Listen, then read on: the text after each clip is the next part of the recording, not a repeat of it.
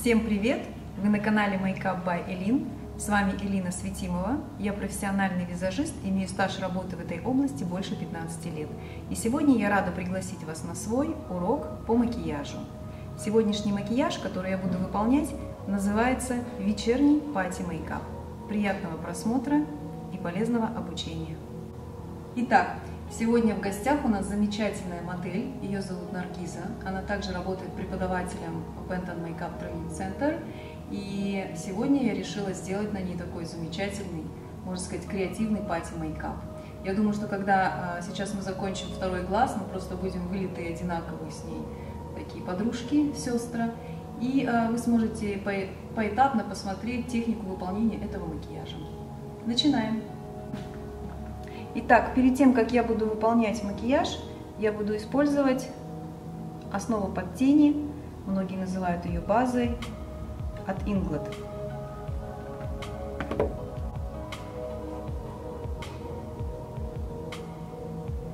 На все подвижное веко мы наносим основу под тени от Inglot. Вы можете наносить как вам удобно. Кто-то наносит пальчиком, кто-то синтетической кистью. Самое главное хорошенечко-хорошенечко растушевать и распределить эту основу по всему подвижному веку. Я также люблю еще ее наносить на нижний ресничный край. То есть именно там, где будут тени. И не забывайте подтушевывать на верхний, на верхнее неподвижное веко.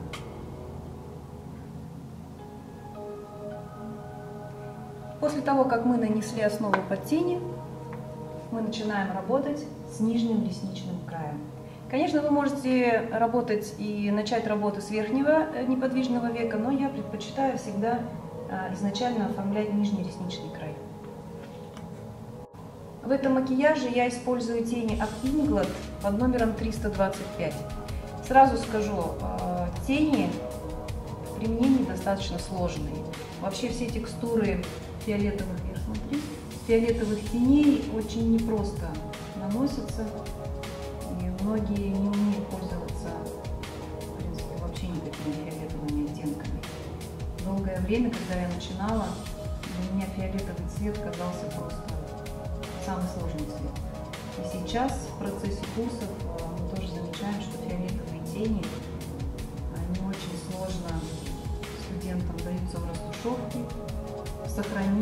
пигмента на глазах. Как вы видите, я работаю вот такой вот кистью ровной и наношу закрытой техникой. Закрытой техникой я называю то, что у нас э, в работе идет больше похлапывающими движениями. Минус этих теней, именно этого пигмента, что он немного осыпается. Поэтому, если честно, в работе я всегда люблю вначале красить глаза, а потом уже оформлять лицо. Итак, закрытой техникой мы нанесли только тени. Теперь сразу я прорабатываю слизистую черным карандашом.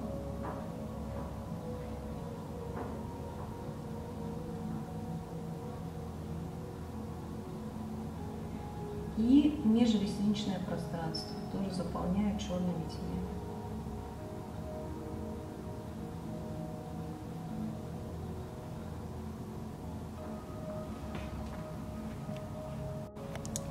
Итак, сейчас мы нанесли тени закрытой техникой. Затем мы проработали слизистую. И сейчас а, я также использую тени от Inglot. Камера, надеюсь, сфокусирует, нет? А, мы используем такой цвет под номером 493. Чуть-чуть-чуть прорабатываем контур предыдущего цвета, для того, чтобы придать более бархатистый эффект нижнего ресничного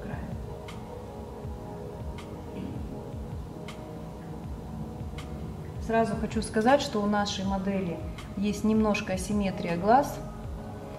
Вот, и специально для моих подписчиц, да и не только для подписчиц, кто смотрит это видео, хочу сделать небольшую заметочку, что если вдруг где-то растушевка теней будет разная или где-то будет не идеально немножко оформлен глаз, вы должны учитывать, что камера в данный момент находится в 20 сантиметрах от лица, и это очень тяжело э, выполнять макияж при таких условиях.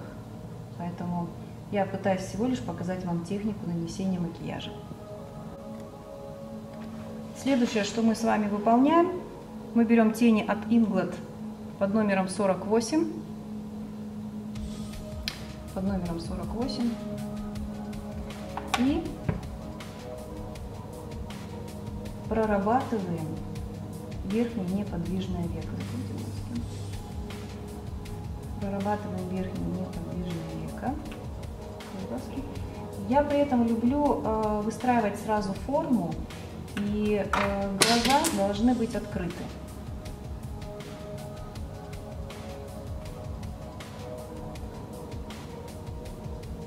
То есть наша задача сейчас соединить вот эту часть нижнюю с верхней, с верхним веком.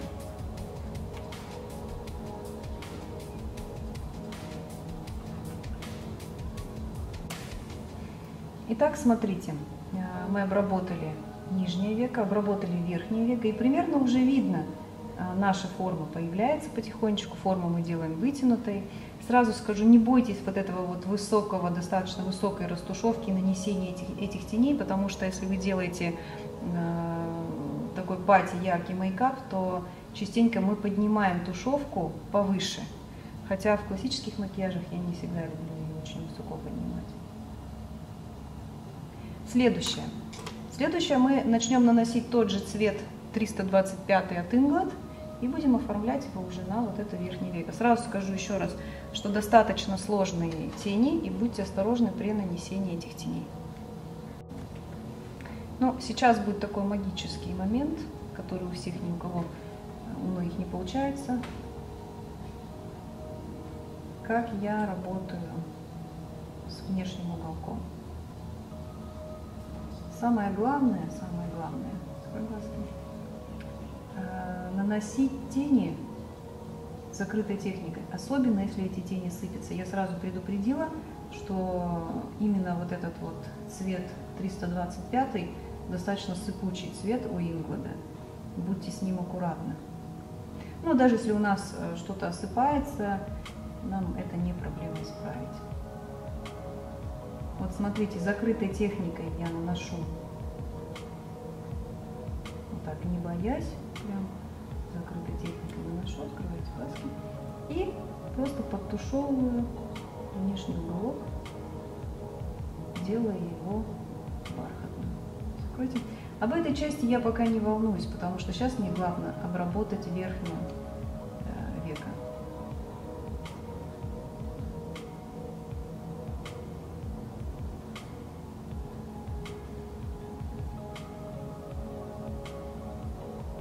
Сюда мы будем уже переходить к внутреннему уголку чуть позже. Сейчас нам нужно обработать угол. На это достаточно уходит много времени, порядка где-то минут, порой бывает 10, а у начинающих визажистов и бывает это и по полчаса. И просто растушевываем, растушевываем, растушевываем пустой кистью. И еще нам нужно тушевать минут, наверное, 10 закрыть нос.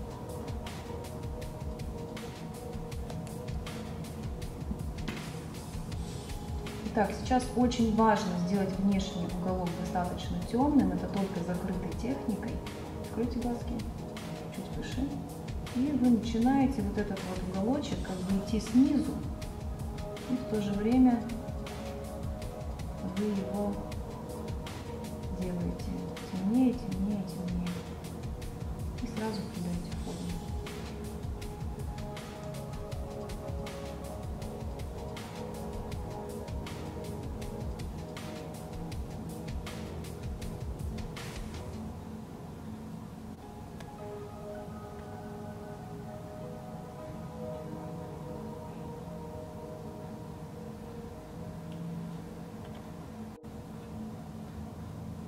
Итак, мы подтушевали внешний уголок, теперь нам нужно потихонечку выходить на внутренний уголок. Глазки. Закрытой техникой. Мы наносим тени на внутренний уголок глаза.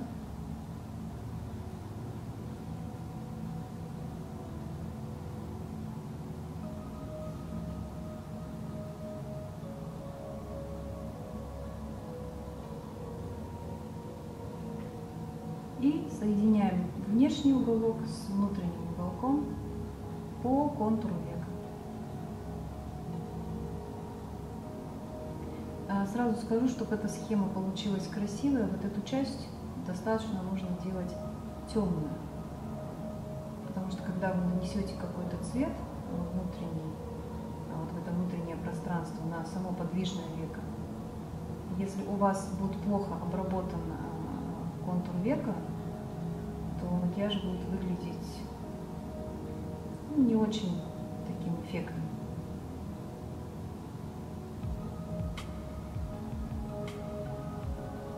Вот примерно так у вас должно получиться. И потом просто откройте глазки и соединяем.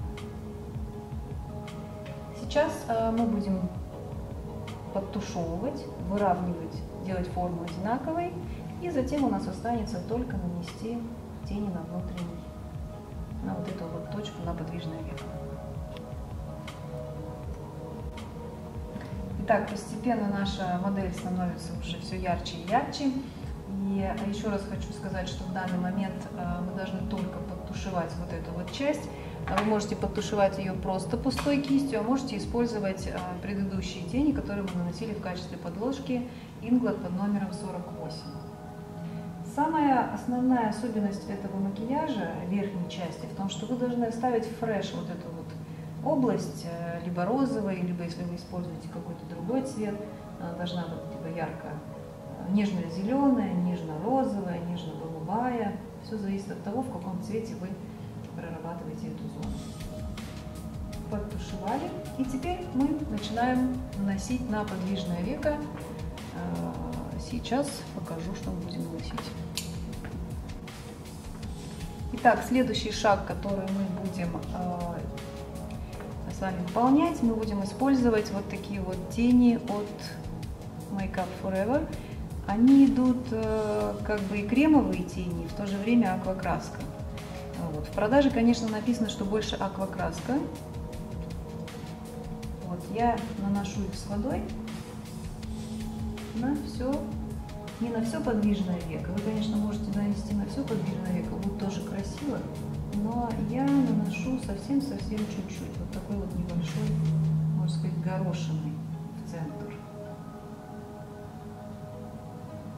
Очень простой макияж, очень быстро выполняется, я думаю, буду рада, если вы его повторите и вышлите мне на почту makeup by Elin собачка gmail.com Сейчас на экране вы увидите мой email.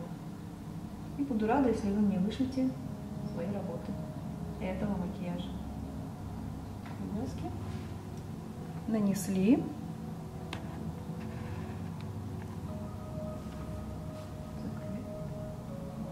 Совсем чуть-чуть закрытой техникой. И сразу же подтушевали. Открой глазки.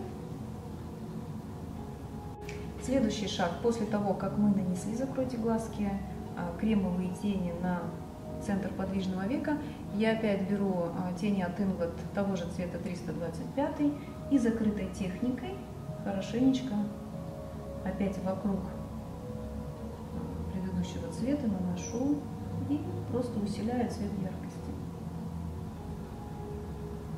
Сразу скажу, что большая ошибка многих, открою глазки, что вот эту вот горошину многие наносят очень высоко, за пределы контура века. И тогда это выглядит некрасиво. Обратите внимание, у модели вот контур века, закрой глазки. И а, мы всего лишь дошли до контура века, открой, и никуда у нас этот светлый цвет выше контура века не уходит. Следующий шаг, который мы будем с вами выполнять, мы будем наносить рассыпчатый глиттер от бренда Makeup Forever. Вот в таком вот цвете. Вот такие рассыпчатые глиттеры, я думаю, вы можете использовать любой глиттер. Для того, чтобы глиттер хорошенечко у вас лег на э, кремовую краску, мы будем использовать базу под специально для текстур э, глиттеровых основ от Inwood.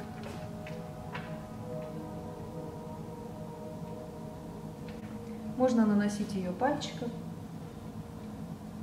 Текстура достаточно такая кремообразная, и на нее очень хорошо э, ляжет у нас глиттер.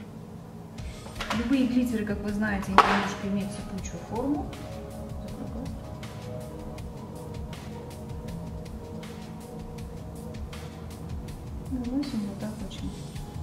Быстренько, только закрытой техникой, вот этот вот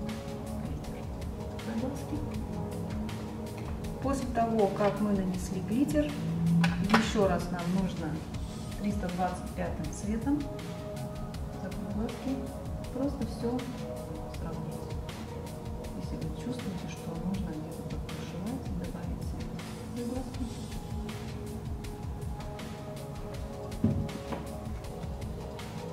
Итак, после того, как мы выровняли, постарались выровнять э, форму глаза, нанесли э, на подвижное веко в центр э, глиттер, а теперь я буду использовать тени от MAD, Opal Sky номер называется, он достаточно такой светлый, и я люблю его частенько наносить на внутренний уголок глаза.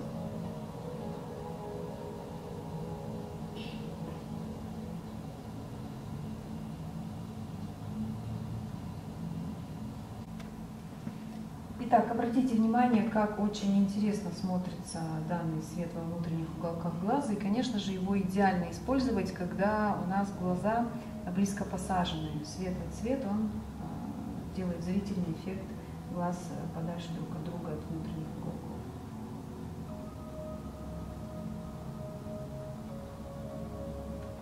А, наш макияж уже подходит к концу, поэтому сейчас нам остается нанести ресницы. А, ресницы мы можем, принципе, для этого мейкапа использовать любые, но э, мы, к сожалению, не сохранили коробочку. Модель принесла сегодня свои реснички. И реснички у нас от Huda Beauty.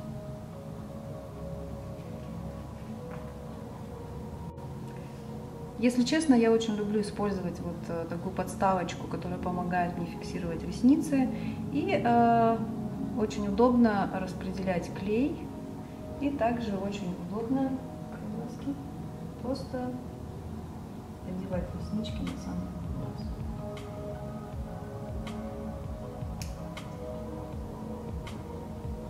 Не открывай глазки. Мы сейчас посмотрим поближе, что у нас получается.